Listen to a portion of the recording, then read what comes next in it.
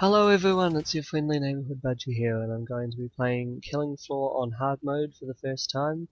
Um, I will begin as a field medic but I'm going to give this a go as a firebug so since I'm doing that I may as well play as Steampunk Firebug. And here we go.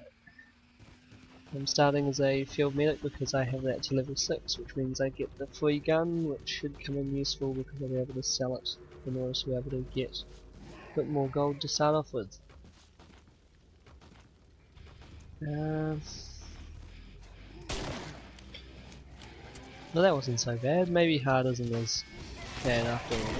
I've been playing on normal and I've managed to complete all the difficulties on normal, or the maps rather, and so I decided I would increase the difficulty, go for a bit of a harder challenge.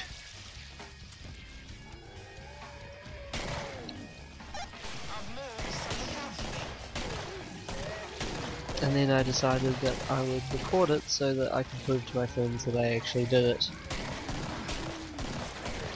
Now there'll be people thinking out there, but hard isn't even that bad.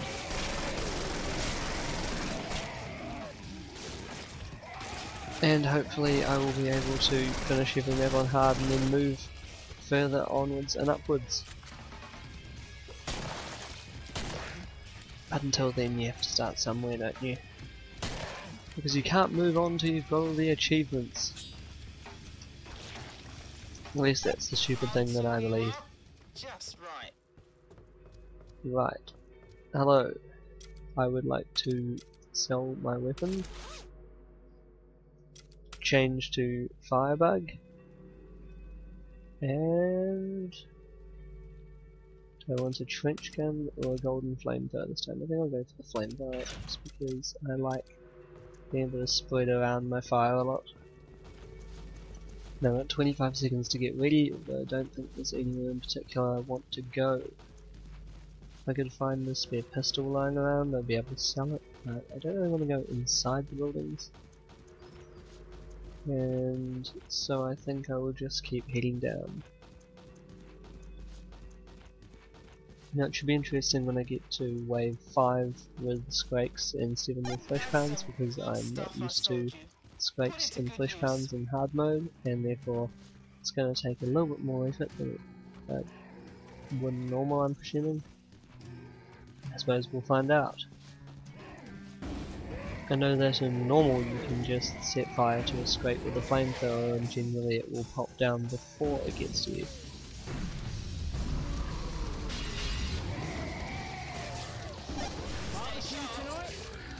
Hello, where'd you come from?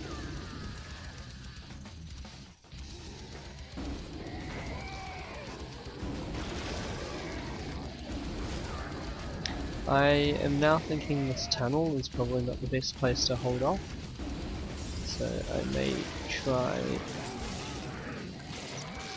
moving around a bit.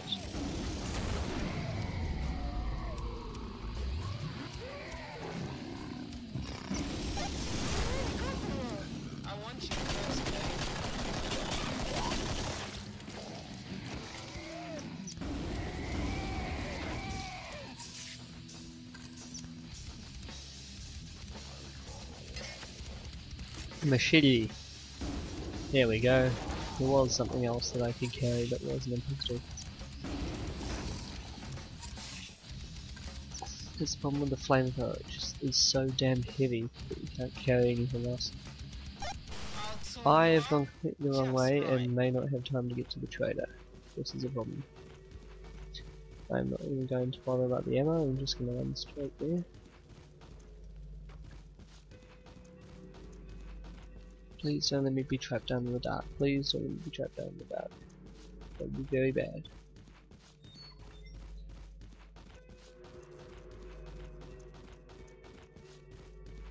That should be fine, so I'll grab this ammo on the way down. Get move on.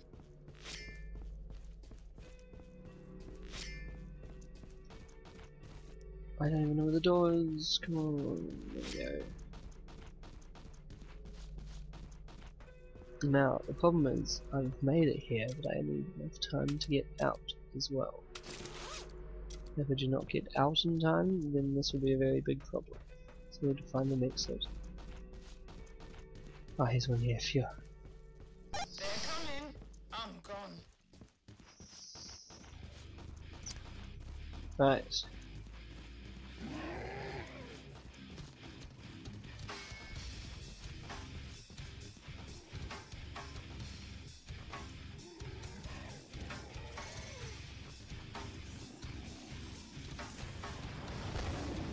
Hello. I did not realize that you guys were following me.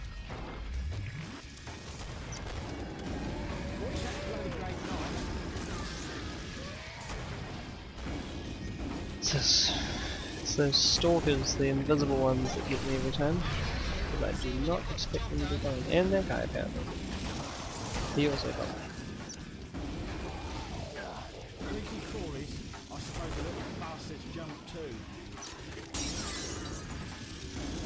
The good thing about doing this on wave 3 is I get a bit of time to um, keep up with all the different things. Oh, there we go.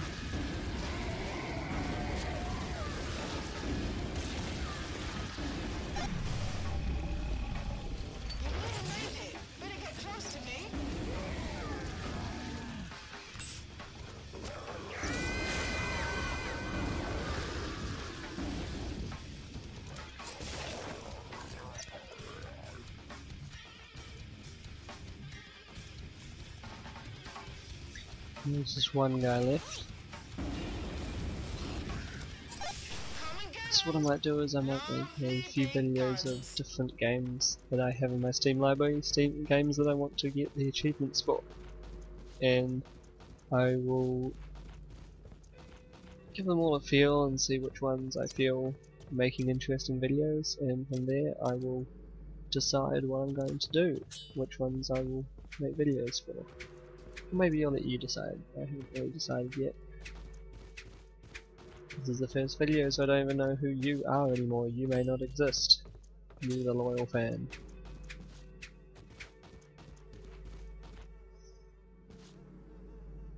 Nice.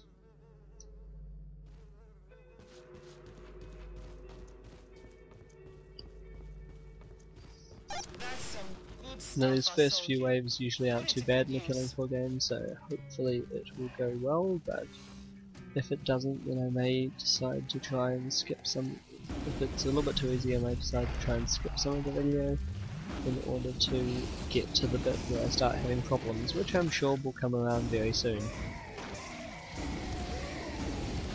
But at the moment I seem to be fine if I can kill those sirens.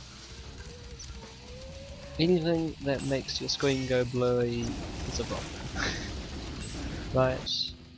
Now I better head to the trader so I don't make the same mistake as last time. I think this is a good place to hold up. I might try and remember that is there. And get back there later on if I need to.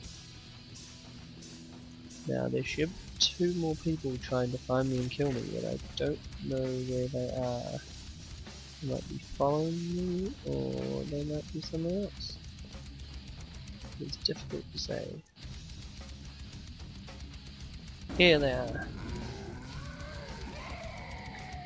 Just give you a little bit of fire and see how much it takes to kill you. Maybe I need that little bit. Ah, there we go. They're all dead. See, hard mode isn't so bad.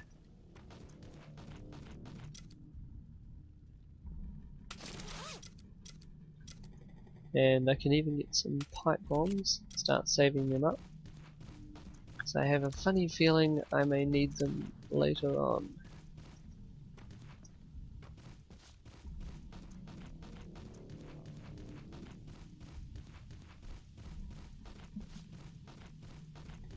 Assuming that hard mode doesn't actually change the wave in which flesh pounds and scrakes spawn. When you see a flesh pound, you will know. If you have not played this game before, the presence of a flesh pound is quite noticeable. It's a little bit bigger than the others and it has clubs for hands that can pound your flesh. This is very aptly named. You know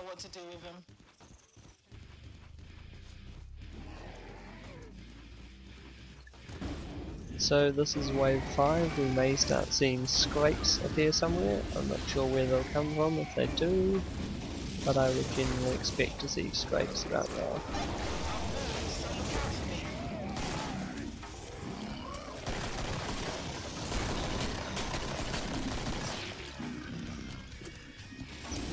There's a lot of invisible people in front of me.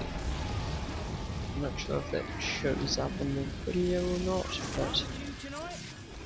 There they are. Now, enough about you.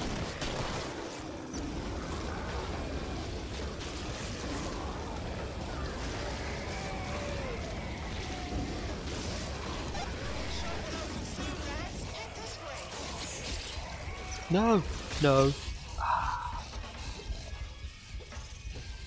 There we go. That's probably because I forgot to heal. Anyway, thank you for watching. This has been Killing Floor Hard Mode with your friendly neighbor Budgie.